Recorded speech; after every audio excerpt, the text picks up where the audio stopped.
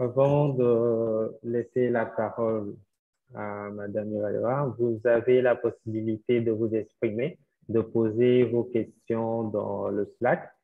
Donc, dans le Slack, vous allez voir euh, euh questions webinaire webinaire questions.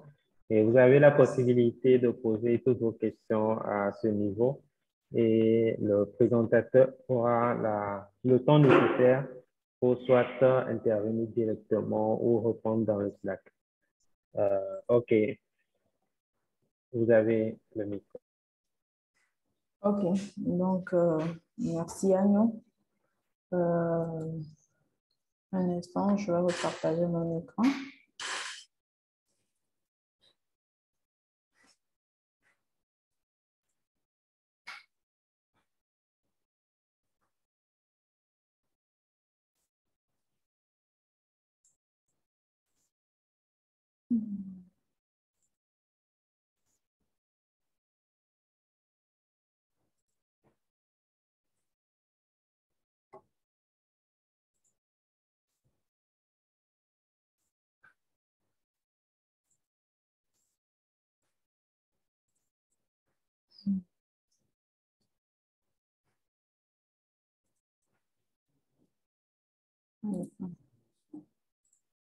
J'espère que vous voyez mon écran. OK, donc euh, merci. Donc euh, bonjour à tous.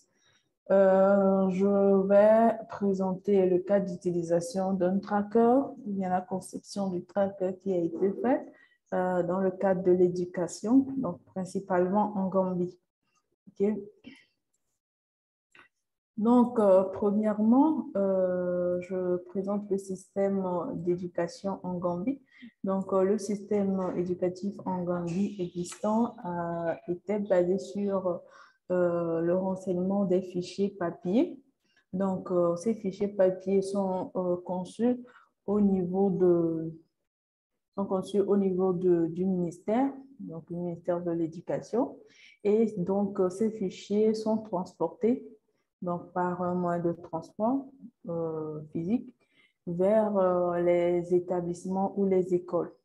Donc, ces écoles, euh, à leur tour, sont obligées de remplir ces fichiers manuellement, remplir le fichier papier manuellement, et à leur tour aussi renvoient ces fichiers papier vers le ministère de l'Éducation par les moyens de transport. Donc, euh, le cursus ou bien le, cycle euh, de renseignement est un cycle circulaire qui passe du ministère de l'Éducation vers les établissements et les établissements, à leur tour, qui passent les fichiers vers le ministère de la le ministère de l'Éducation. Donc, voici un peu comment se fait la saisie euh, des fiches.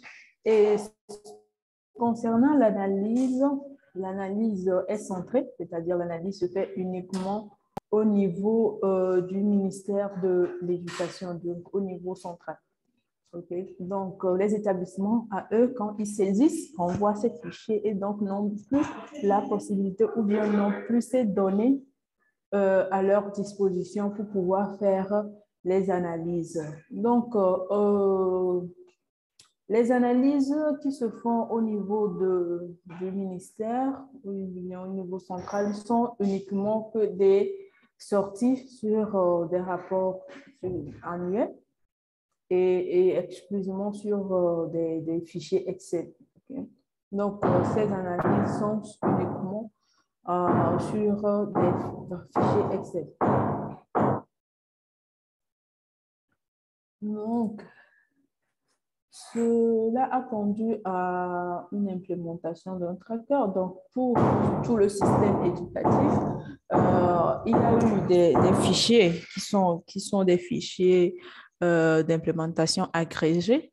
Mais dans cette, dans cette présentation, je vais plus me baser sur euh, les implémentations de type tracker qui ont été implémentées, qui ont été enregistrées dans le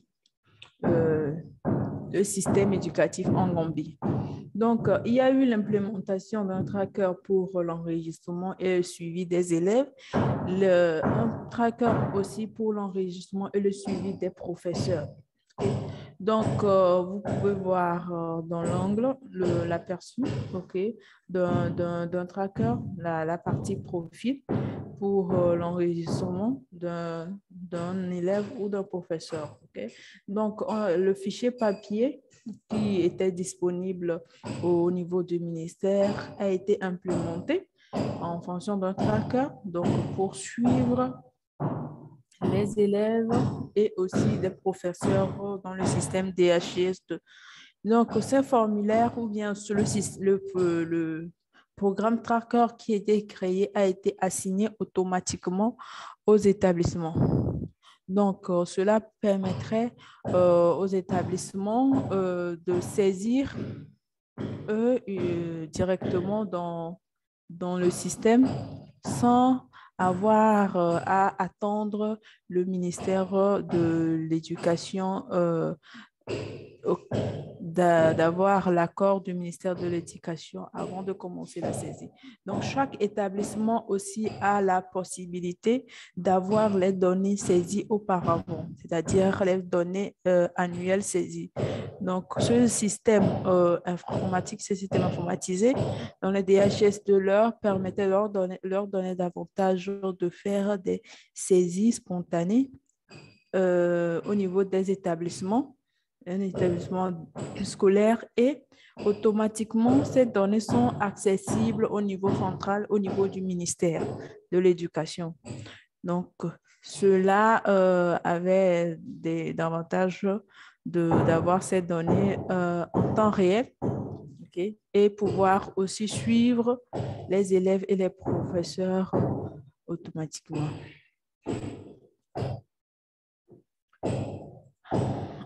Donc, une fois le, tracker euh, conçu, le tracker implémenté dans le système, cette implémentation a permis de, faire, de, créer premièrement des indicateurs. Donc, les indicateurs euh, qui sont primordiaux, qui sont importants dans le système éducatif.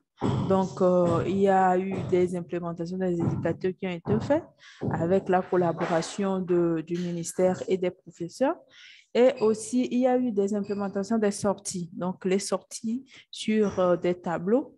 Donc, comme vous pouvez le voir, il y a euh, malheureusement, c'est en anglais. Les, graphiques sont en anglais. Mais il y a, par exemple, sur le, le graphique du tableau croisé dynamique, vous pouvez voir le nombre d'enrôlements au niveau du primaire le nombre d'enrôlements au niveau du secondaire, d'enrôlement au niveau euh, du, lycée. Donc, euh, il y a ces indicateurs qui ont été conçus dans le système pour pouvoir euh, compter, OK, pour faire un décompte des nombres d'élèves qui sont enroulés, des nombres d'élèves qui sont inscrits. OK, donc, c'est graphiques ou bien ces sorties ont été implémentées, soit euh, sur un tableau croisé dynamique ou sur un visualiseur ou même sur la carte si possible.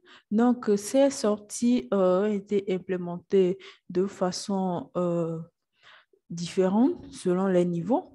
Donc, euh, les niveaux, euh, par exemple, les établissements ont leurs sorties qui ont été implémentées selon le type d'analyse que ces établissements veulent faire en fonction de leurs données.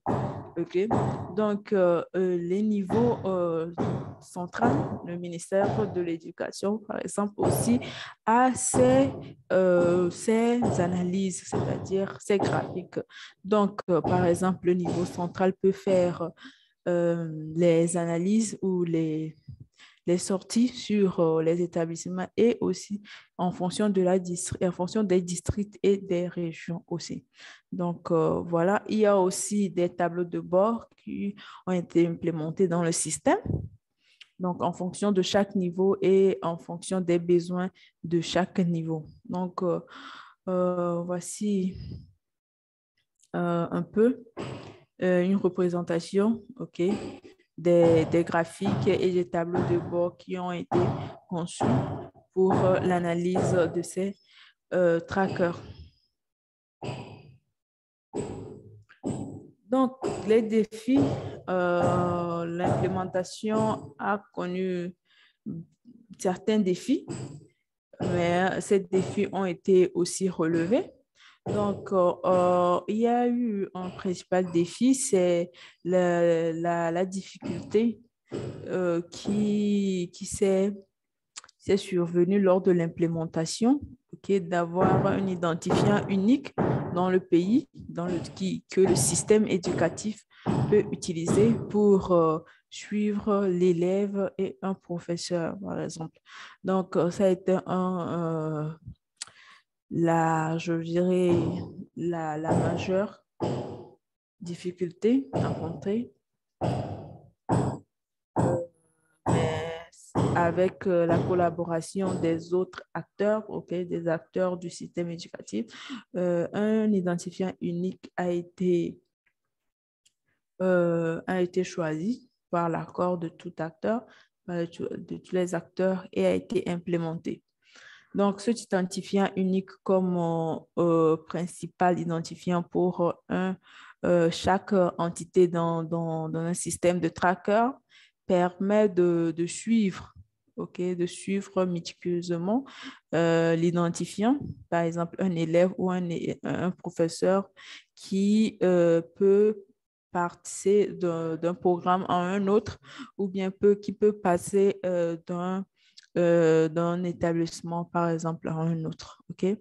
Donc, il y a eu aussi la difficulté de, euh, de pouvoir marquer la présence des élèves ou des professeurs euh, de façon groupée ou de façon en masse. Donc, euh, la, la, configuration de base de, du tracker ne, ne permettait pas de, de, pouvoir faire cela de façon groupée. Il faudrait aller sur le tableau de bord de, chaque élève avant de, cocher la présence, avant de signer la présence de ses élèves ou de ses professeurs. Donc, cela était une difficulté majeure aussi à relever. Donc, euh, cette difficulté a permis à la communauté DHS2 de, de concevoir une application. Donc, une application a été conçue dans ce, dans ce système qui permettrait d'avoir euh, toute la liste toute la liste des, des, élèves de façon groupée et de, même des professeurs de façon groupée. Et cela permettrait d'avoir euh, à marquer la présence, à marquer la présence des élèves de façon groupée sans passer par leur tableau de bord individuel. OK? Donc, on a eu, il y a eu le défi aussi de, de référer les élèves d'un établissement à un autre. Donc, euh, le niveau central avait cette difficulté de pouvoir référer les élèves qui, qui devaient passer d'un établissement à un autre. Donc, il faudrait, euh, il faudrait arrêter l'enroulement, c'est-à-dire suspendre l'enrôlement de, de l'élève dans l'établissement de base et le référer dans un établissement où il est enroulé à nouveau dans l'autre établissement. Donc, euh, si euh, cela est possible par le tableau de bord de l'élève, le tableau de bord euh, de, de, de dans l'application Tracker qui est possible, mais cela ne permettait pas de faire tout ce cursus ou bien tout ce processus de façon groupée pour, par exemple, deux ou trois élèves. Donc, euh, ce, défi aussi a euh, euh, entraîné la communauté à développer une autre application qui permettait de, de pouvoir référer ok, ces élèves de façon groupée ou bien de façon en masse d'un établissement à un autre. Donc, euh, comme ressource, euh, il y a l'instance, OK, l'instance démo de, de, de l'éducation du DHS2. Donc, c'est le lien à emisdhs2.org slash démo. Donc, vous pouvez y aller et voir les configurations qui ont été faites. Donc, euh, il y a d'autres configurations de, type agrégé, ok, donc, euh, qui, sont, qui ont été implémentées. Donc, cela a permis d'avoir une instance démo, donc euh, l'instance Gambi, qui permet d'avoir une instance démo pour toute la communauté DHS2 pour les tests et autres. Euh, merci euh, à tous d'avoir euh, assisté, d'avoir prêté l'attention à la présentation. Si vous avez des questions, n'hésitez pas. Merci.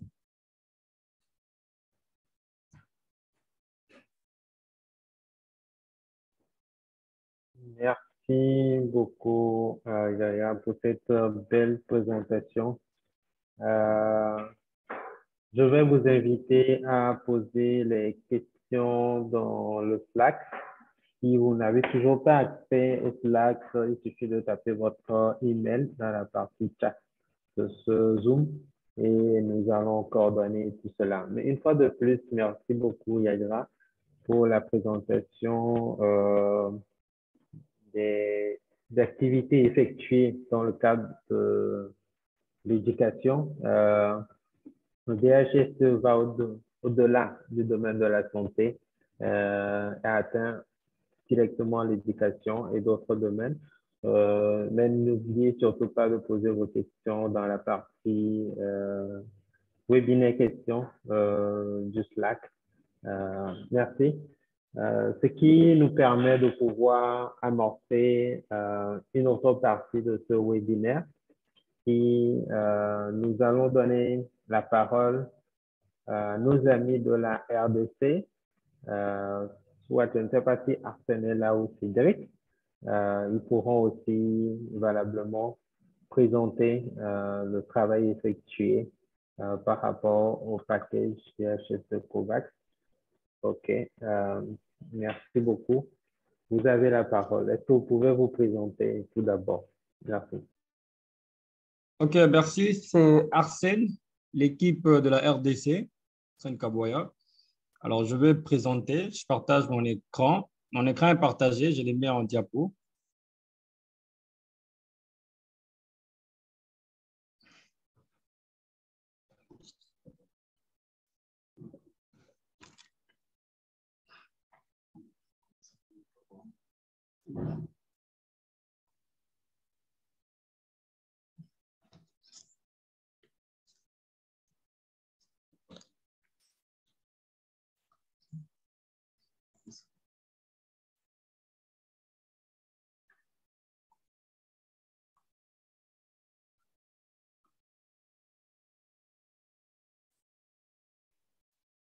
OK. Après, est-ce que vous pouvez partager euh, votre écran, s'il vous plaît?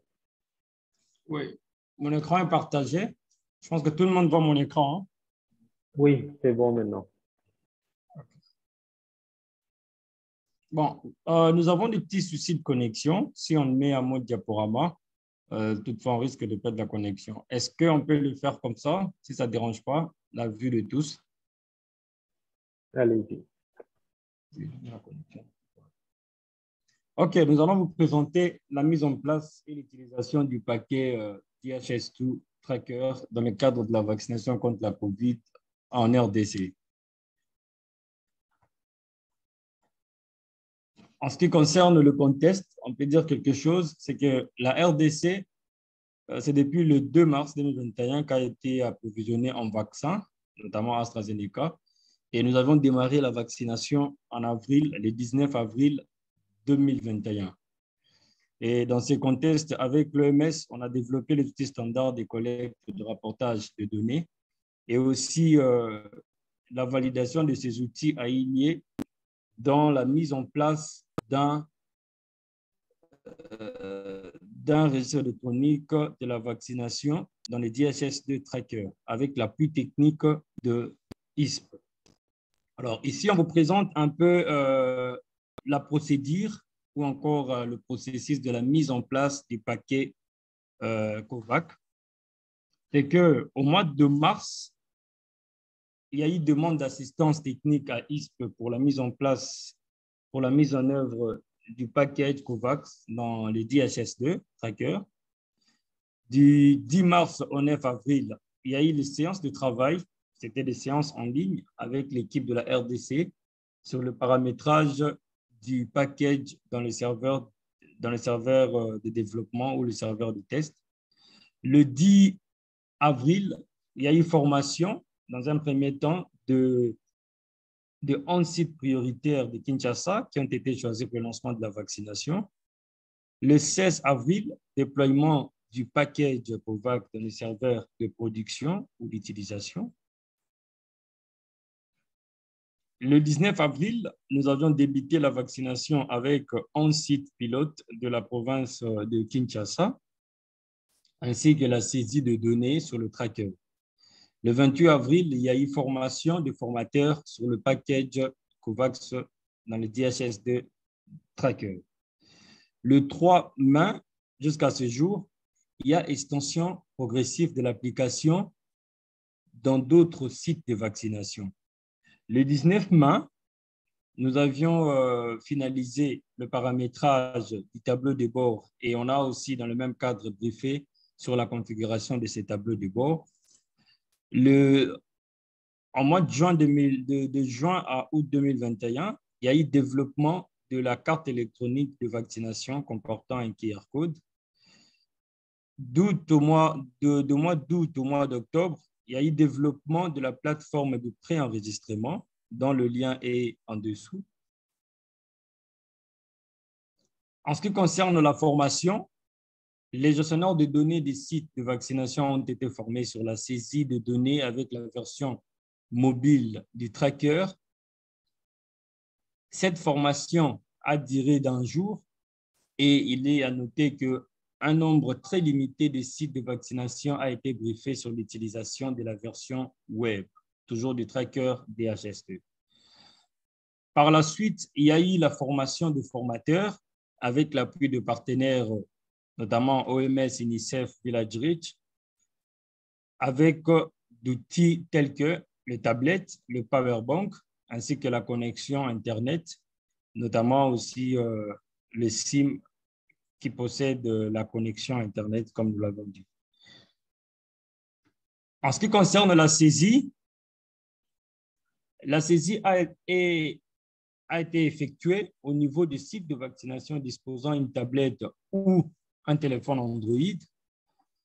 Certaines données des campagnes sont encodées au niveau de la zone de santé pour cause de non-disponibilité de tablettes dans tous les sites tels que euh, nous l'avons prévu.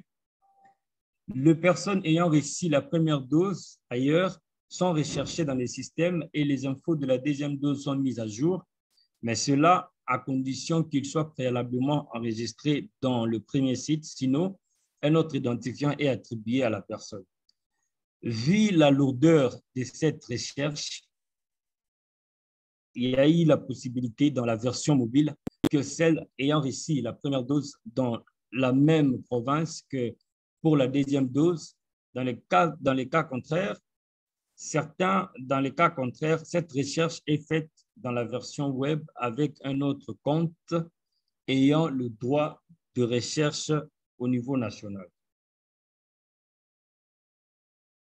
Ici, nous vous présentons le, la plateforme de la demande ou encore du téléchargement du certificat de vaccination.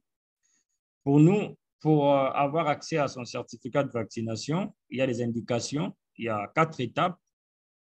On introduit son identifiant unique, le format d'identifiant unique que vous voyez, le numéro de téléphone tel que encodé lors euh, de, de l'enregistrement de la personne au site de vaccination.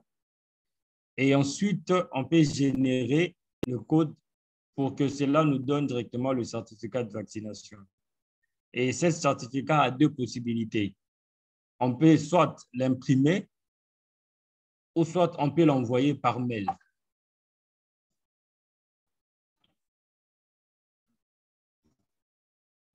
En ce qui concerne les certificats de vaccination, le défi, c'est notamment les erreurs de saisie d'utilisateurs rendant impossible la sortie de la carte, étant donné que elle ne s'affiche que lorsque l'identifiant et les numéros de téléphone sont renseignés exactement tel que la saisie a été faite lors de l'encodage par l'encodeur.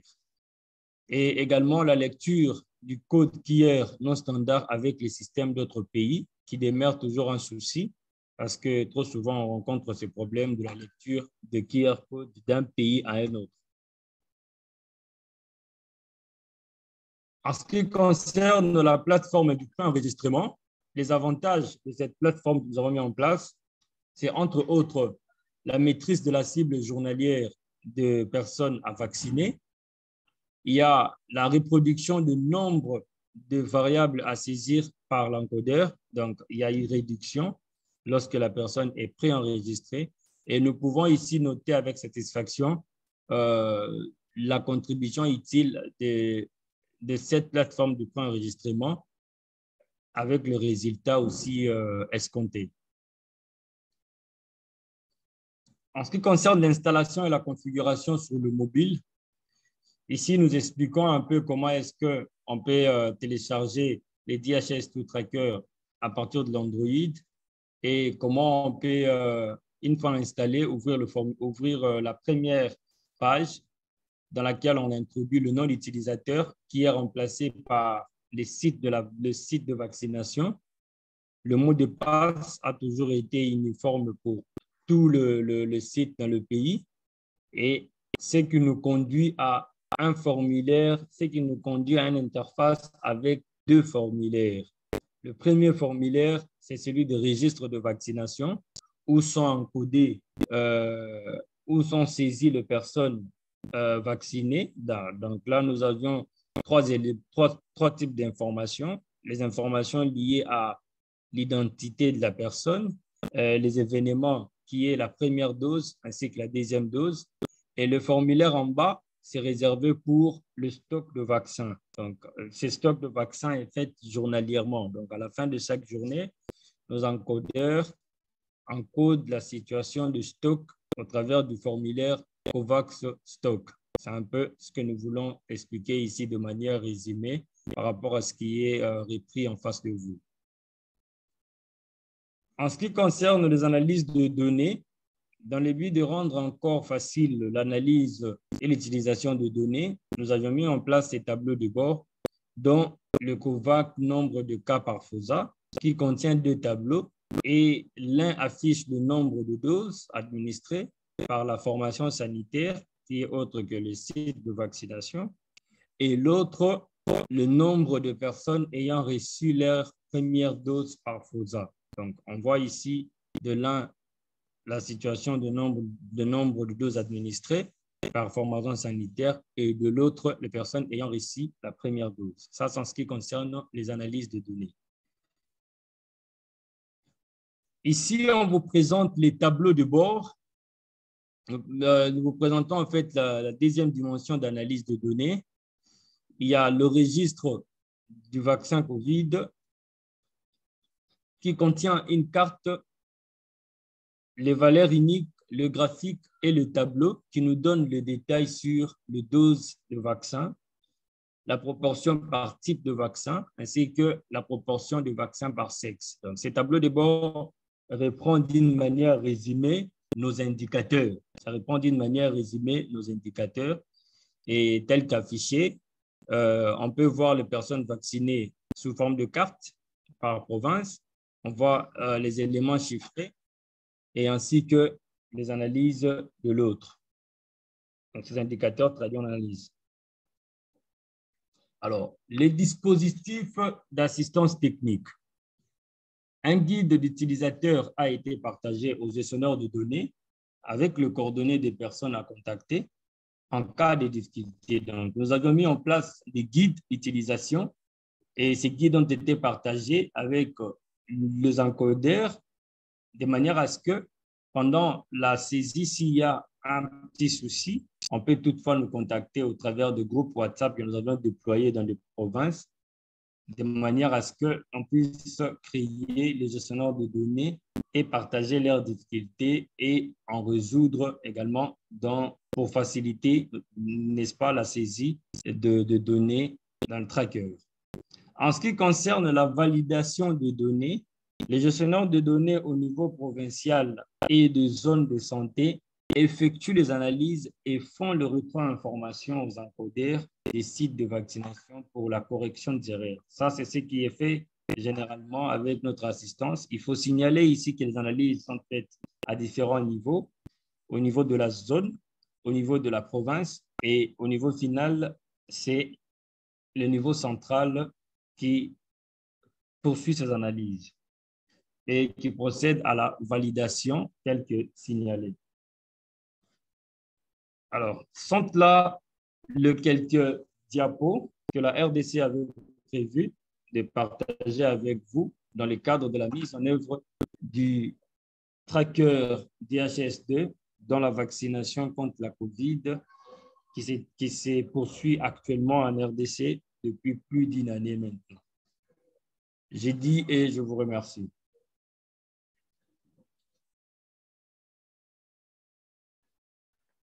Merci beaucoup, Monsieur Arsène, pour cette euh, belle présentation euh, qui décrit le travail fait dans le cadre de la collecte des informations liées au COVID en RDC.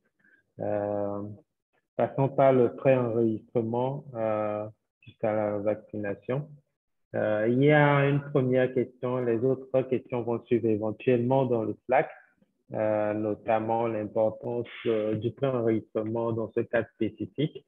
Mais vous aurez la possibilité de répondre à ces questions euh, juste après la présentation de Dr. Chanilé.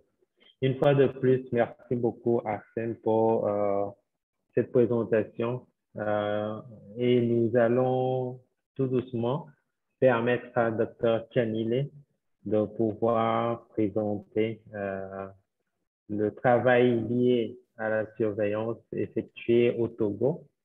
Euh, bonsoir, Dr. Chanile. Oui, bonsoir, bonsoir à tous. Je vais partager mon, mon écran.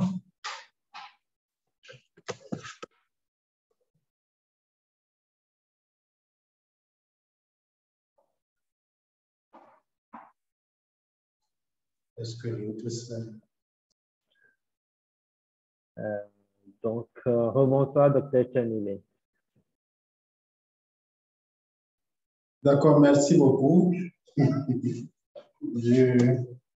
Donc, j'ai le plaisir de partager avec vous le, cas d'utilisation du tracker DHL2 par rapport à la surveillance au Togo.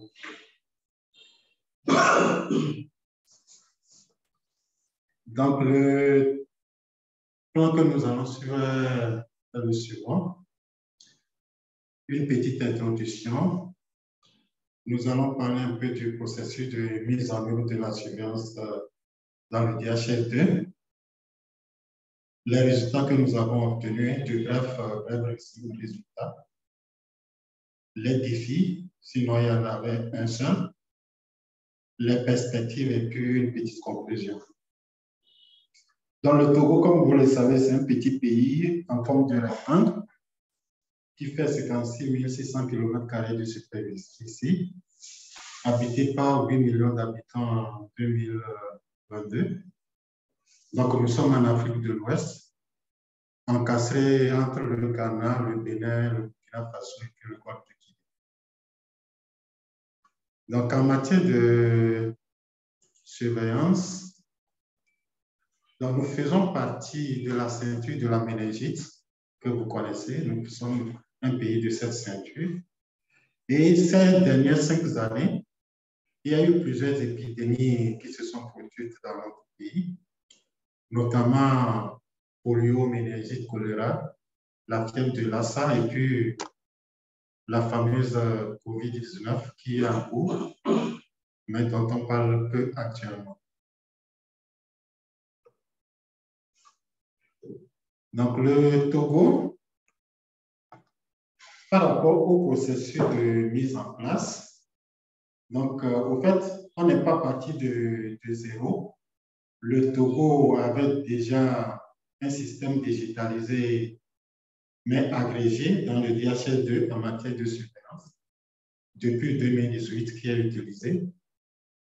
Donc, le besoin de tracker s'est fait sentir avec les les recommandations de l'OMS et puis les besoins nationaux également que les acteurs ont, relevés. Et donc, il y a eu une série de, de rencontres avec les différentes parties prenantes, notamment de la surveillance,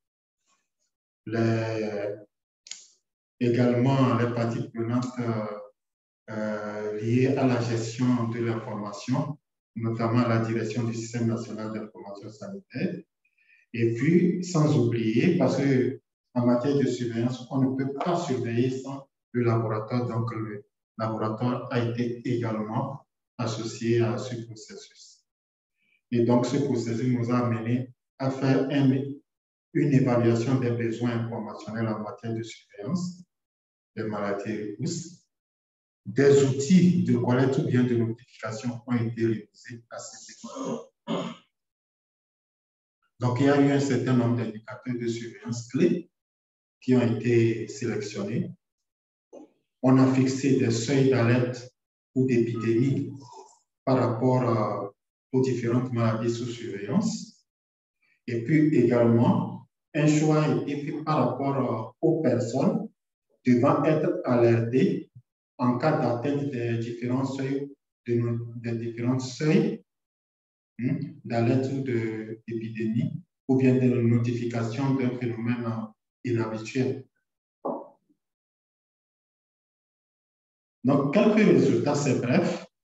Donc, il y a eu la configuration et l'installation du package traqué par rapport aux différentes maladies. Les 16, on a 16 maladies sous surveillance épidémique au Togo.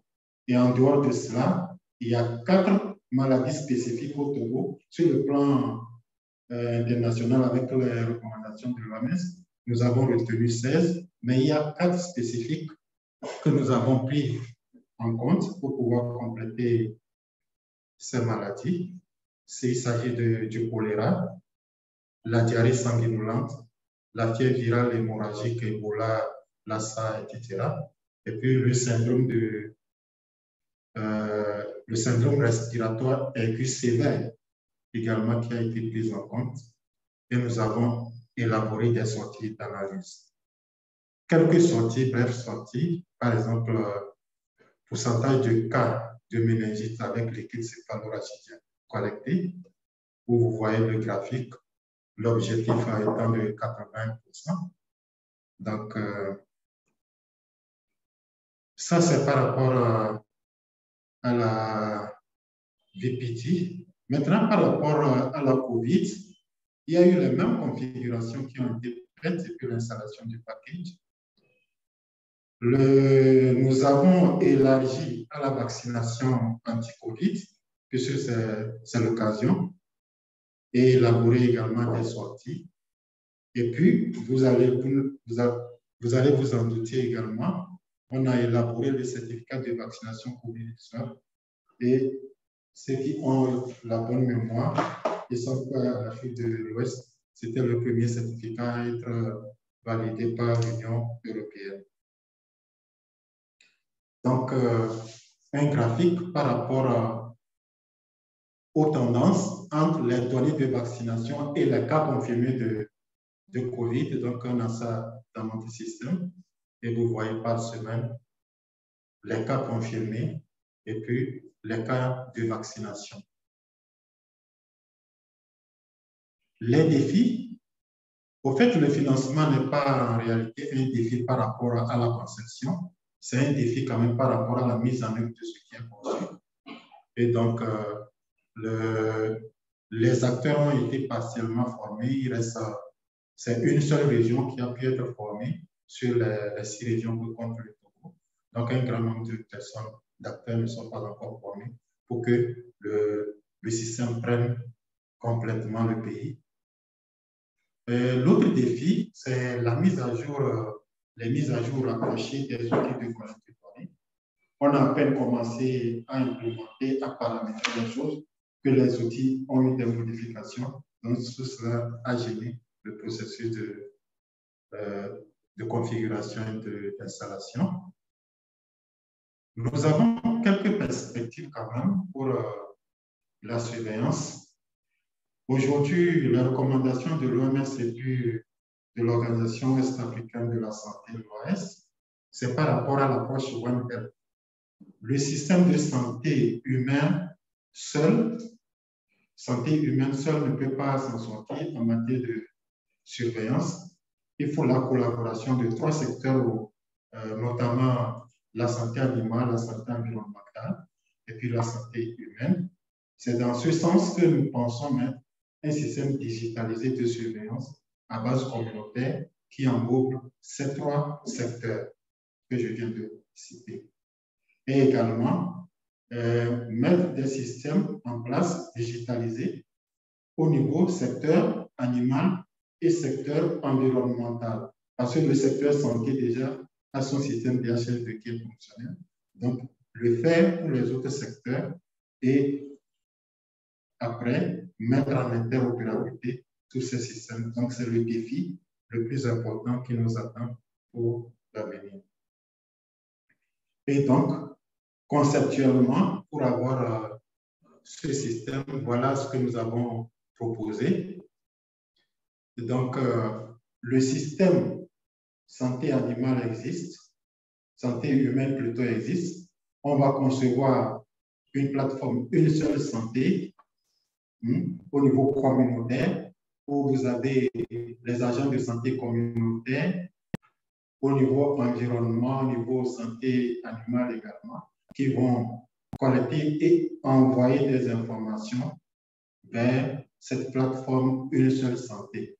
Et par la suite, il y aura des plateformes santé animale, santé environnementale et donc une interopérabilité qui, qui va se faire après entre tout ce système pour qu'il y ait partage d'informations. Une petite conclusion. La conclusion, c'est un petit rappel de ce qui a été fait. Donc, en matière de, euh, de traquer sur les maladies à surveillance épidémiologique, donc, qui a été élargi aux quatre maladies supplémentaires, le choléra, la diarrhée sanguinolente, la fièvre virale hémorragique et le syndrome respiratoire aigu sévère. Donc, je l'ai déjà dit par rapport à la surveillance affligée, SIMR, surveillance intégrée des maladies péricoses, avec euh, l'agrégé qui était fait, mais on a ajouté le tableau de bord qui était nécessaire. Et également, je l'ai déjà dit, le, les participations des, acteurs, des parties prenantes, notamment le laboratoire, le CNIS et puis la surveillance proprement dite, et puis les formations qui ont été réalisées, le défi de financement et les perspectives, c'est-à-dire une seule santé, l'approche une seule santé. Merci les uns les autres pour m'avoir suivi. S'il y a des questions, nous sommes à l'écoute.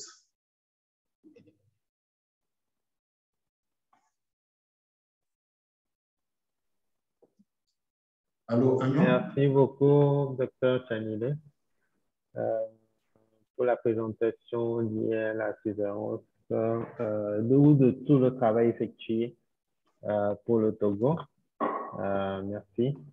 Euh, nous attendons encore les questions dans le Slack, euh, mais nous allons maintenant permettre à Yagira euh, de répondre aux questions posées dans le cadre de l'éducation. Je pense qu'il y a Seydou qui a posé une première question qui demande en quoi consiste exactement le, le, suivi des enfants et puis des professeurs. Yaya, bonsoir. Oui, bonsoir, bonsoir à tous. Ok, donc je vais essayer de répondre aux questions. Donc, euh, la première question qui est en quoi consiste exactement le suivi des élèves et professeurs, enrôlement et suivi euh, de présence et de notes? Donc, euh, je vais vous envoyer après le lien, le lien démo, OK, qui est disponible à tout le monde, de pouvoir aller visualiser, OK, le travail effectué dans le cadre de l'éducation dans l'instant DHS de démo. Euh, le, suivi des élèves et des professeurs ne consiste pas seulement à enrouler et à prendre des notes.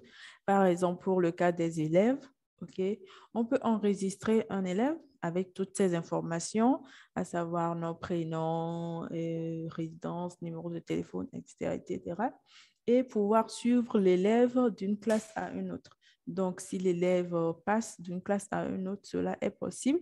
Et aussi de, d'avoir les notes par, par matière. Par exemple, la mathématique, physique et tout.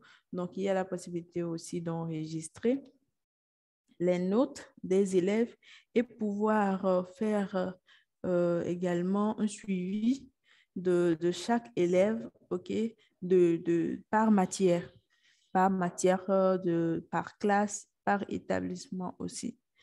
Et donc, pour les professeurs, il y a aussi le suivi des professeurs qui est fait donc l'enregistrement des informations du professeur et aussi si le, le, professeur a, monté de grade, c'est-à-dire euh, euh, d'un enseignement à un autre et ou d'un établissement à un autre, par exemple. Donc, ces suivis sont faits dans, dans, dans, dans le tracker qui est conçu.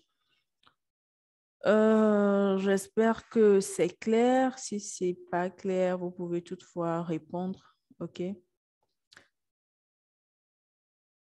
Euh, ensuite, il y a la question de finalement, on n'arrive pas à mouver les élèves ou professeurs entre écoles. Euh, si lors de ma présentation, euh, je disais que c'était un défi.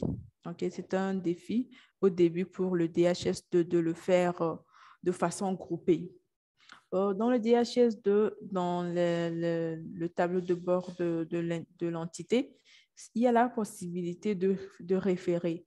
Donc, euh, il y a un bouton que, que beaucoup de gens connaissent, OK, sur l'interface DHS2 de pouvoir référer une entité, une entité d'un programme ou bien d'un établissement à un autre. Donc, euh, euh, cette option était possible depuis dans le DHS2, mais cela donnait un travail fastidieux dans le cadre de l'éducation parce qu'il faudra aller sur le, tableau de bord de l'entité avant de cliquer sur ce bouton et ressortir et prendre un autre élève.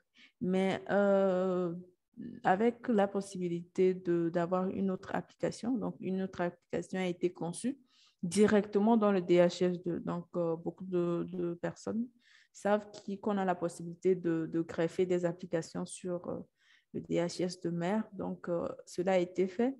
Et des applications ont été conçues ok, pour pouvoir marquer la présence élèves pour pouvoir euh, référer les élèves ou les professeurs euh, de façon groupée. OK?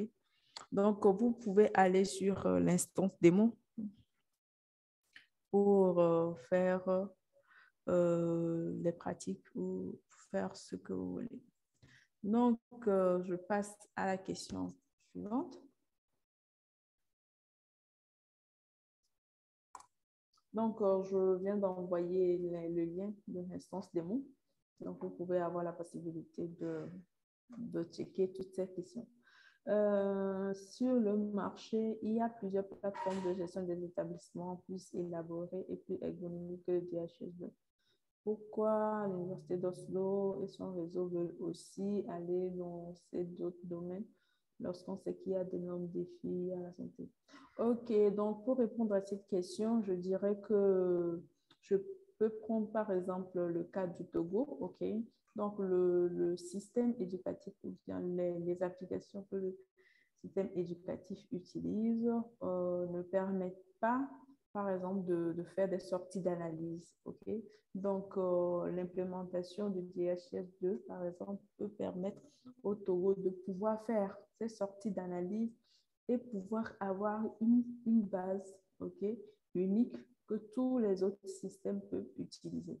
Et aussi, euh, le DHS2 est un système qui est en ligne, OK, et cela donne la possibilité euh, aux établissements scolaires de saisir euh, directement eux-mêmes leurs données plutôt que de, de, saisir et de compiler et renvoyer ces données-là au niveau central qui euh, doit saisir ces données dans une base de données. Donc, avec le DHS2 qui est en ligne, ils peuvent avoir la possibilité de saisir automatiquement leurs données et avoir ces données à leur disposition pour des analyses à eux. Donc voilà, la troisième question. La quatrième question, les logiciels pour les groupes d'élèves sont-ils euh, différents ou est-ce euh, le même? Bon, je ne comprends pas vraiment cette question, mais je dirais que les logiciels, au fait, c'est des mini-applications qui sont créées et qui sont greffées sur le DHIS de. OK? Donc, euh, vous pouvez le voir sur le lien démo que j'ai envoyé. Vous allez avoir d'autres applications qui ne sont pas dans, dans les applications mère de DHS2. Donc, ces applications-là sont conçues pour gérer ce problème de, de, de, présence et de référence. Question 5. Comment calcule-t-on la promptitude avec le tracker au système éducatif de la Gambie? Bon, vous savez que euh, pour la question de promptitude, le tracker n'a pas la possibilité de gérer la promptitude, même dans le cas de, de la santé, ok, que des formulaires euh, agrégés qui permettent de gérer euh, la promptitude. Donc, euh, cette question, je pense qu'on a même ce défi dans, dans le domaine de, de la santé et donc ce défi reste même pour le, le système éducatif. Merci. Merci beaucoup, euh, Yadra Gomado. Euh, je pense que vous avez valablement répondu à toutes les questions. Euh, les discussions peuvent continuer dans le Slack après euh, cette section si vous en avez encore. Euh, mais docteur Filiadin aussi a, a un complément. Euh, donc, nous allons lui laisser le micro pour quelques secondes. Bonsoir, docteur Filiadin. Bonsoir à tous. Est-ce que vous me recevez?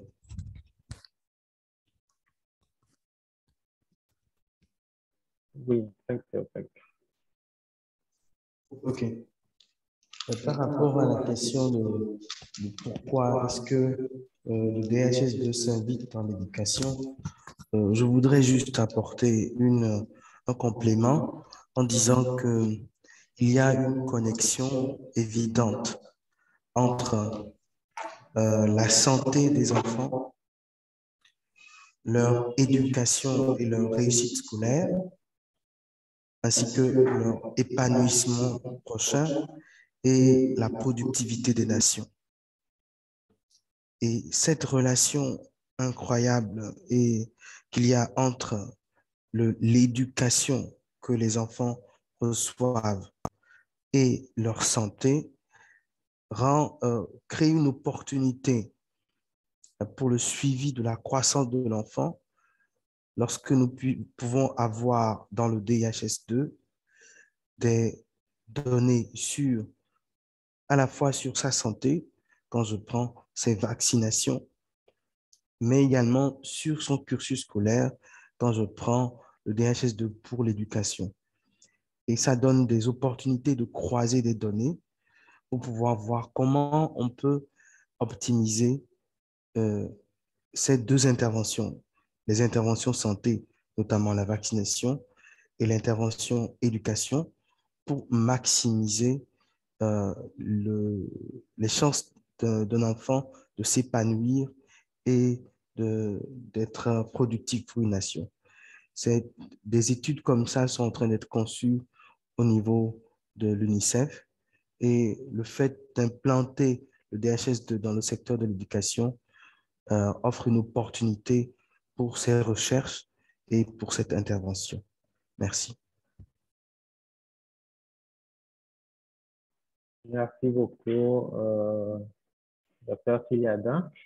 Euh, bon, je pense que nous allons maintenant euh, passer à un autre cap pour entrer dans le travail excellent qu'a fait la RDC en matière de COVAX et permettre à Arsène ou à partie de répondre aux questions liées à la présentation. Bonsoir Arsène ou bonsoir Cédric. Ok, bonsoir. Euh, merci pour ben, la, la l'attention soutenue à la présentation. Et nous avions, nous avons vu dans le chat euh, quelques questions auxquelles on va répondre. Et puis, euh, mes collègues euh, Cédric ainsi que Patty pourront aussi compléter. Alors, en ce qui concerne euh, l'importance du préenregistrement, du préenregistrement dans le registre de vaccination, bon, ce qu'il faut, signaler ici, c'est que le préenregistrement, le système de préenregistrement qui, qui est encore euh, dans une phase euh, de, d'exploitation un peu au début, on peut le dire comme ça, nous a permis ou nous Euh. permet de... Allô? Je suis entendu? Ouais. Nous permet en fait de pouvoir connaître la cible qui a attendu à être vaccinée. Ça, c'est un élément. Le deuxième élément, ça facilite en fait à l'encodeur. Je pense pendant ma présentation, je fais mention de ça. Lorsque la personne se préenregistre, préenregistre, il y a déjà certaines variables qu'il va devoir euh, encoder. Là, je parle d'un utilisateur euh, public et tout. Et c'est l'opérateur de saisie, lorsqu'il est en face d'un- d'une personne préenregistrée, ça réduit en fait son temps de travail. C'est-à-dire qu'il y a déjà certaines variables qui sont déjà saisies en amont et lui va seulement s'en charger à d'autres- variables et tout pour compléter, ce qui lui permet de gagner en temps et d'avoir plus de saisies la journée. Vous voyez? Et euh, si je n'ai pas ajouté une autre raison, ça, nous permet, ça, a permis aussi à la population de pouvoir euh, voilà, désirer le jour de, sa vaccination. Il ne faut pas tout de suite euh, que la personne se voit être euh, euh, contraint d'aller se faire vacciner lundi, par exemple, alors qu'il voulait aller mercredi, jeudi. Ben, à partir du préenregistrement, il peut déjà se préenregistrer et se présenter au site de vaccination selon le jour euh, de sa convenance. Donc, voilà un peu euh, l'importance de cette plateforme que nous avions jugée utile et que nous avions mis en place, qui est interopérable avec euh, le tracker. Alors, euh, il y a aussi une très longue question ici que je vais devoir répondre de manière séquencée. En ce qui concerne euh, le système mis en place, il prend-il en charge les phases de planification de notification de rendez-vous et acceptation de rendez-vous après le enregistrement Exactement, il y a euh, un système de... Nous, avions, nous travaillons avec euh, un opérateur téléphonique qui nous a livré un paquet d'SMS qui permet à ce que la personne qui s'est enregistre, il a un message, il reçoit un message de, de rendez-vous. Et cela se passe après, son, après qu'il soit enregistré.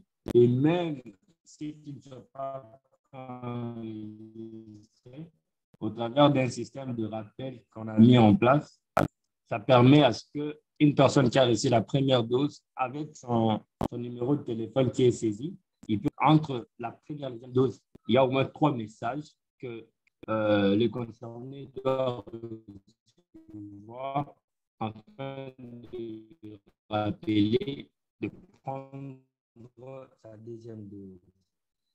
Euh, une autre question, c'était euh, la source d'information pour la vaccination euh, est-ce que le système actuel utilise dans tout le, le, le, FOSSA et qu'il y a une seule source d'information pour la vaccination COVID Exactement. Il y a que dans le cadre de la RDC, pour la vaccination contre la COVID, nous utilisons que le tracker, le tracker qui est euh, euh, l'outil de collecte et d'analyse de données mais il faut quand même signaler que le pays euh, étant vaste euh, par sa superficie, nous devons couvrir, euh, nous devons avoir en fait toutes en fait, les tablettes qui étaient attendues pour permettre à ce que nous puissions couvrir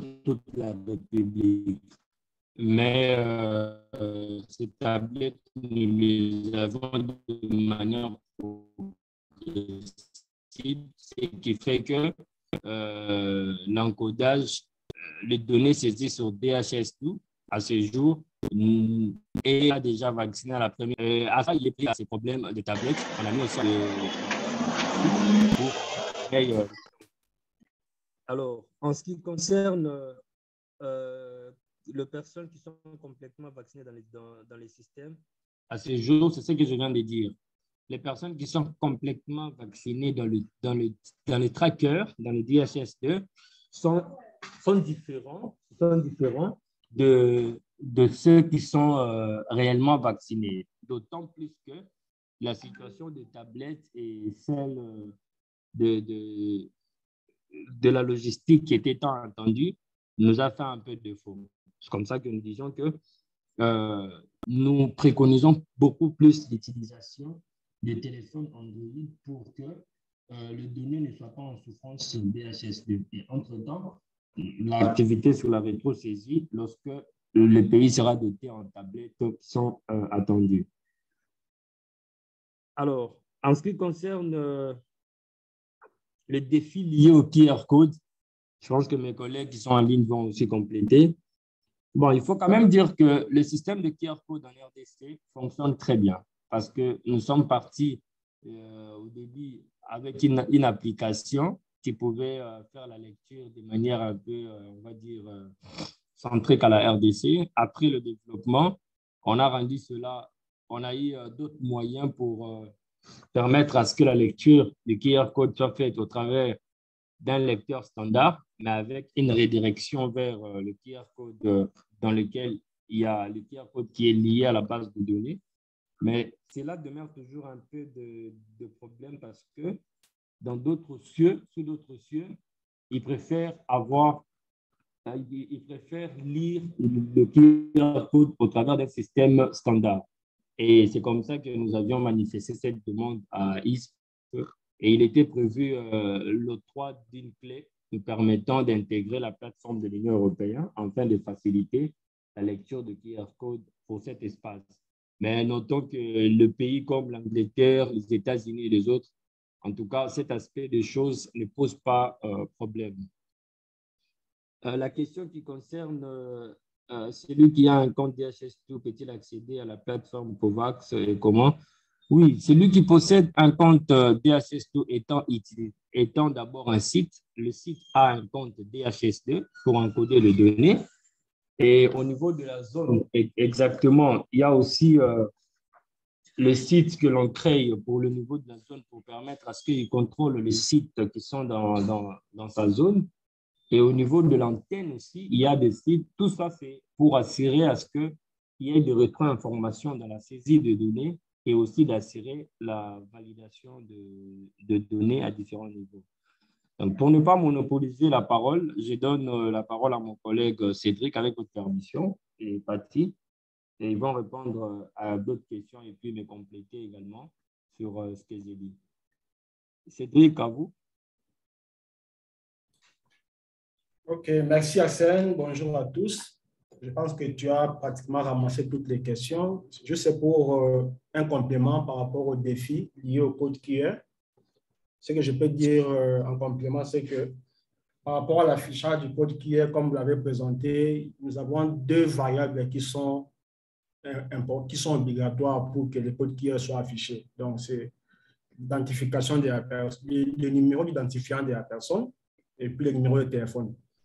Alors, parmi les défis que nous avons rencontrés jusque-là, c'est les erreurs d'encodage. Parce que la carte ne s'affiche que si, euh, si la personne vaccinée renseigne les informations exactement telles qu'encodées par, euh, par la personne qui a fait la saisie. Nous avons un format bien défini pour le numéro d'identifiant.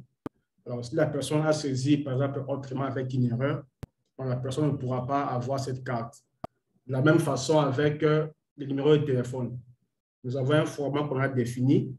Alors, nous avons, remarqué qu'il y avait d'autres personnes qui, qui faisaient la saisie avec notre format de numéro. Ce qui fait que pour avoir la carte de cette personne, il faut être un utilisateur qui peut entrer dans les rapports d'événements, télécharger les événements, voir exactement ce que la personne avait saisi comme information et puis ressortir le code pour la personne, ce qui est un peu fatigué. Donc, nous avons essayé actuellement avec euh, les codes créés au niveau des zones de santé. Les de santé sont en train de faire les feedbacks aux encodeurs des sites pour corriger ces erreurs. Et puis, nous avons actuellement uniformisé le format du numéro de téléphone pour permettre en sorte que euh, cette lecture soit un peu plus aisée. Donc, euh, c'était juste le complément que je voulais faire. Pour le reste, je pense qu'Arsène a déjà tout dit. Merci. Merci beaucoup, Arsène et pour la réponse aux différentes questions. Euh, nous allons clôturer cette partie avec euh, Dr. Tianile. je pense qu'il n'y a pas trop de questions tellement la présentation était claire. qu'il n'y a que Fatou qui demandait a un lien, est-ce possible d'avoir un lien pour voir le travail fait entre DHSE pour la collecte des données au niveau communautaire au Togo. Euh, donc, je pense que c'est la seule question. Euh, docteur Chanile. Oui, merci, Agnon. Je pense qu'il euh, y a deux questions en dehors de cela. il y a une autre question qui va pratiquement dans le même sens par rapport à la surveillance des animaux et de l'environnement. Donc, je voudrais préciser ici que c'est dans les perspectives que j'ai fait, fait référence à cela. Donc, le, les systèmes de surveillance digitalisés, bien sûr, de surveillance animale et puis environnement n'est pas encore mis en place, mais le processus a commencé et nous avons déjà eu des rencontres. Et je pense d'ici quatre ou cinq mois ou plus, on va quand même euh, mettre en place euh, ce système digitalisé dans le DHS2. Par rapport au niveau communautaire, c'est la même chose, mais le tracker au niveau communautaire n'est pas encore euh, commencé et nous sommes toujours dans le processus et j'avais pensé de j'avais parlé de perspective une seule santé. Donc, euh, merci. Donc, je ne pourrai pas malheureusement vous donner un lien. Et d'ici cinq mois au plus, on aura la possibilité de de visiter cette plateforme. Merci. Merci beaucoup, Dr. Chanile. effectivement, un lien démo n'est pas encore disponible, mais nous restons en contact. Euh, le DHS évolue assez rapidement.